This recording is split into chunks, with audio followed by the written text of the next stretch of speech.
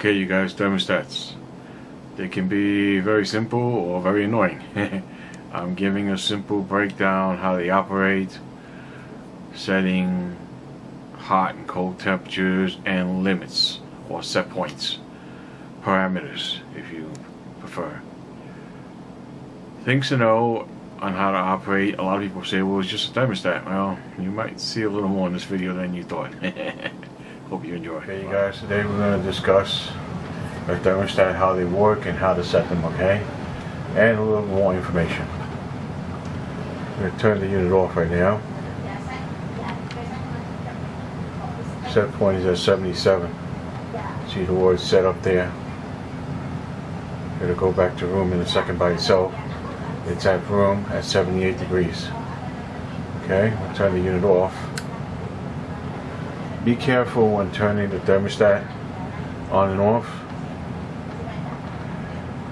The more times you do it, the more delay you might get for the compressor outside, the condensing unit, for the oils or gases, whatever else mix, mixture to return to the compressor outside, so you will get a delay.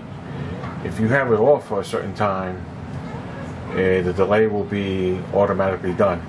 But if you turn it off and you turn it back on quickly, sometimes the delay will kick in, can be 5 to 15 minutes, and that's per time that you turn that switch off. So I've been to places where they have over a two hour delay. I have to put a new thermostat in just to get it to a shorter delay. The fan went off by itself after post purge. It took some time to get any gases, any fumes, anything else out of the chamber outside through the stack okay. The on button here would be for you want a more even temperature. You have more than just the first floor. You might have a second story third story and this will help circulate the heat and the cool kind of the way a ceiling fan might push air down or up depending upon the season. It helps things run more continuously even if the thermostat is not running and it might last longer the temperature setting indoors okay? So that's where be the on can come in handy at times. Okay you're just running the fan you're not running the entire unit. So this can be helpful on multiple locations or long runs and stuff like that that on button.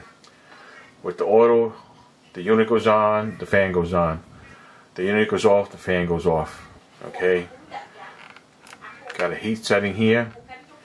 And you also have 76 is set on the heat right now. If I want to lower that if I wanted the heat to go on I'd have to go above 78 for the heat to go on. I don't need to do that but I just need to express that to you guys. Okay when I put it on cool now it should actually go on by itself um, because of the delay I'm making the video.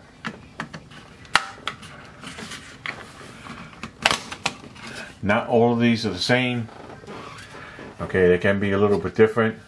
We got two batteries here if you don't see anything on the display most likely the batteries are dead you have to change them. This is the backup system also so you keep your readings on your display when the power is not going to the unit. If you your red wire here should be a 24 volts coming in from your step down transformer in the furnace or whatever unit you have okay? Usually you see a jumper here for red heat, red cold. The jumper's on the board here. It's not here. Some, lot, most of the time you see a metal jumper. So not all these are the same. This is a four wire setup. Uh, some heat pumps I worked on, they had a six wire setup. You have a second jumper here to go from electric to gas, but for some reason it seems to be working perfectly here. And we are running gas for the gas tray here on this furnace. So I didn't have to move that around. Your instructions will tell you what you're supposed to do. If it doesn't work, you can move the jumper if you're installing a new one, okay? Uh, that's basically it for here. You don't really want to play with anything else.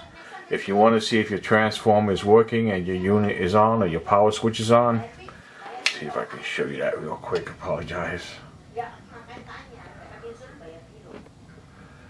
That would be the power switch for this unit right there. That's up so it's on. Sometimes if you have emergency, you're not sure what to do, you can turn that power switch off. And that would be extremely helpful in emergency purposes. That's what that switch is there for. Okay, you turn the switch on, and you believe your system should be running. You can use a multimeter from this one here to the white one, which would be heat, and you should get 24 volts. Or to the yellow one, which would be cool right here, you should get 24 volts. Green one is fan on this particular unit. You got an extra light blue one here, and that's basically for one wire breaks. You can do a continuity test from the inside of the furnace to outside here, and you don't get full uh, reading continuity from one of the wires. You know one of those is broken. That light blue one can replace that. Connected inside, connecting outside. So just things to note uh, looking at the unit, okay? Not much more for me to show in here except that this particular one is a really no frills one. It is wireless, nothing like that. That's a whole nother ballpark. It usually will say heat or cool on here. If you put it on cool and it's in delay, it should blink. Cool. Okay, it should blink. If it's not blinking, this one just doesn't have it. I'm on delay. I think, oh, there it is. It clicked on. So it's good. The cover didn't have the guts inside with pins. Everything was actually on the board itself attached to the wall. So a lot of times you have pins and the batteries are inside the cover. And if that's the case, then you'll have a longer delay. Alright, so that's things to note. Be a little patient. Do not keep resetting this and you get a better idea how this works. And don't forget your set points. Okay, your set points are your parameters, where you want it to be. Uh, right now I'm in cool, so I want it to be 77. If I want it to be higher, I might set it higher than 78, and that's basically it to get more heat. Okay, my wife keeps setting, keeps putting on hot cool, and and wondering why it doesn't go on cool hot. She's forgetting about those set points. Very important. I think I got enough information for you guys today. I hope you enjoyed the video, and I'll see you guys in the next one. Bye.